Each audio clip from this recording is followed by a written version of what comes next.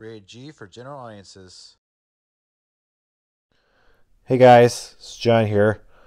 Back again with our John's TWR Customs after a long hiatus. Today, in honor of the seventh seasons of Thomas Friends' 20th anniversary, particularly the episode Fergus Breaks the Rules, we have Fergus the Railway Traction Engine with added details. So what I do to him, I gave him a front buffer beam using some popsicle stick wood as well as this little uh, bit under his chassis. And I gave him a magnet in front.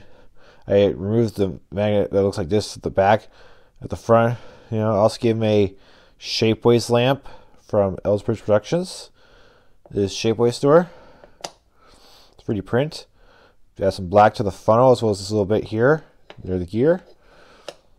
Here's the rear buffer beam with the buffers and coupling hook as well.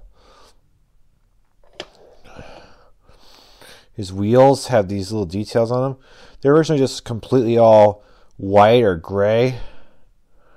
So I just painted the spokes red. Those axle tips black. That's all I pretty much did to Fergus. I think I did it right, as he would put it. You know, his catchphrase, do it right. Yeah. So, anyways, this is Jovial Pictures, aka John, signing out. Hope to see you next video. Happy Halloween, and take care, everyone.